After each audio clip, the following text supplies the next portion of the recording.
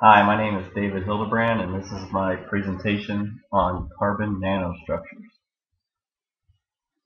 Uh, a little bit about myself. I'm originally from Maryland, but I currently live in Fort Worth, Texas, where I work as a systems engineer for Lockheed Martin Aeronautics on the F-35 Joint Strike Fighter. Um, since my job is fairly stressful, I tend to relieve some stress by racing sport bikes and uh, tend to have a little bit too much fun. Okay, so what are carbon nanotubes? They're scientifically engineered structures where scientists take two carbon rods, one with a positive charge and one with a negative charge, and they induce about a 20 volt uh, voltage across the rods, which leaves a slight carbon or graphite um, residue on the negative negatively charged rod. Uh, this basic concept of anode and cathode. Um, carbon or graphite is actually uh, fundamentally flat. Um, but what happens is in the residue, the deposits form tubes or cones or uh, even cups. Um, there's no real uniform structure, but right now they're trying to engineer ways to make sure that the residue appears fairly uniform. Uh, the benefits of the tubular structure are that it has unparalleled thermal conductivity. Um, in other words, it can rapidly get rid of heat.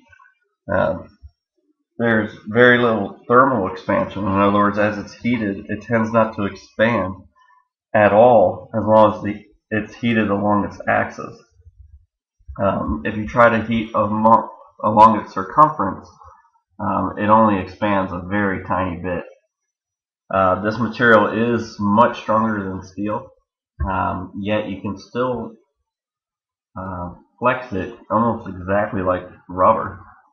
Um, another benefit is since it is carbon or graphite, um, it absorbs a very wide spectrum of light waves. Um, this new substance, graphene, is by far the strongest material ever found. Um, there's really four main ways that this material is being used.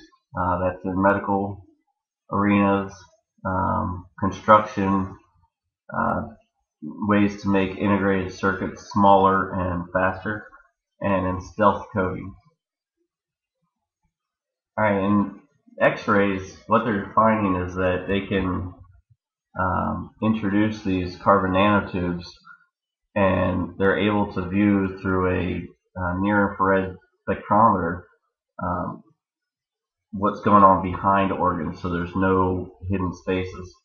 Um, also, since there's no need to heat anything up or uh, process an image, um, everything gets done instantaneously. Um, on the cancer side of uh, medicine, they're using carbon nanotubes as a host to introduce drugs directly onto affected cells and tissue. Uh, when they place these nanotubes near these cancer cells and they introduce a small current, the nanotubes vibrate and actually completely eliminate the cancer cells. Um, as far as structural applications, um, it is carbon, similar to carbon fiber, but much, much stronger down to the molecular level.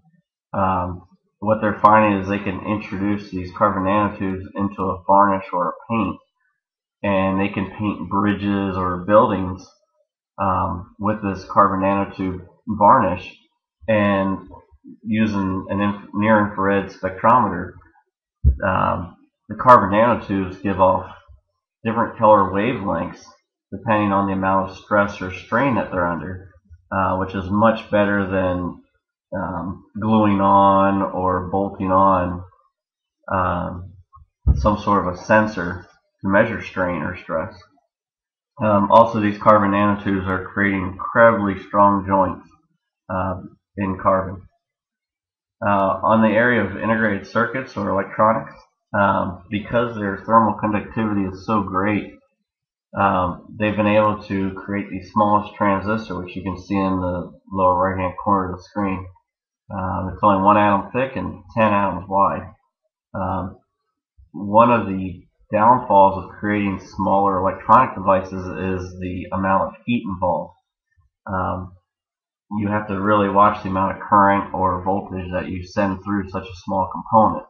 But since nanotubes have excellent thermal conductivity, uh, you can actually put 10 times the amount of power through the same area um, that you would on a, a copper uh, made integrated circuit. Um, also, carbon nanotubes can carry the same amperage as well um, in the same area. But again, they weigh one-sixth the weight of copper, so you can really make them a lot smaller and a lot lighter. Uh, just to compare thermal conductivity, if you look at the chart on the left about carbon nanotubes, um, you can see that it's in nanowatts per uh, degree of Kelvin. So the scale is going to look different. However, you can see that even at very cold temperatures and very hot temperatures, the thermal conductance is very good. Um, whereas with copper, um, when it's cold, the thermal conductivity is good. Um, however, as copper is heated and the electrons um, disperse, the thermal conductivity uh, goes down pretty rapidly.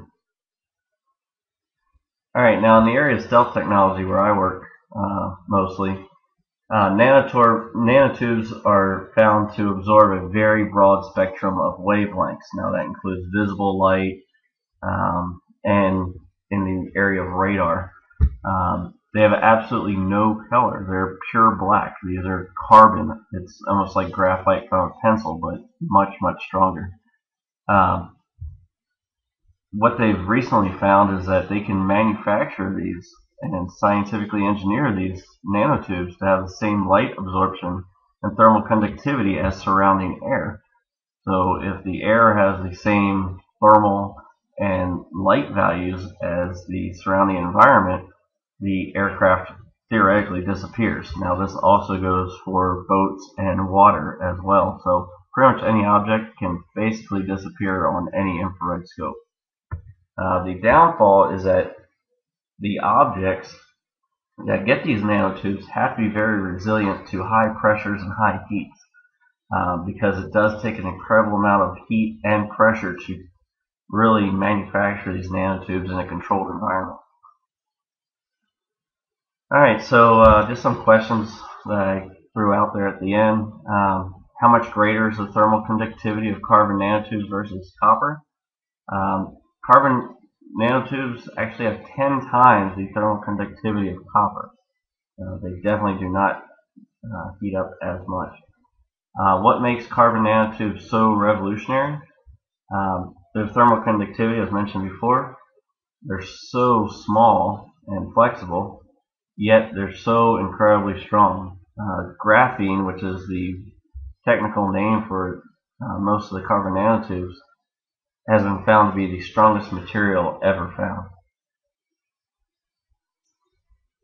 Alright, so my name is David Hildebrand and this is my presentation on carbon nanostructure.